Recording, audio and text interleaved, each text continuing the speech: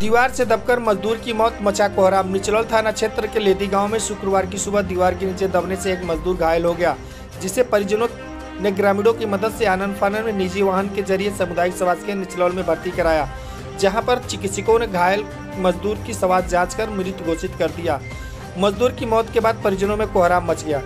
जानकारी के मुताबिक कुशीनगर ज़िले के बसडीहा गाँव निवासी भीम मुसहर उम्र 35 वर्ष, का निचलौल थाने क्षेत्र लेदी में ससुराल था, जहाँ पर वह पत्नी और बच्चों के साथ रहते थे। घर से कुछ दूर गाँव निवासी हरी का मकान निर्माण कार्य चल रहा था, जहाँ पर भीम शुक्रवार की सुबह खाना खाने के बाद मजदूरी करने पहुँचे थे। इसी बीच भीम के ऊपर अचानक जर्जर मकान का दीवार गिर गया, जिसके चलते भीम मुसहर की मौत हो गई।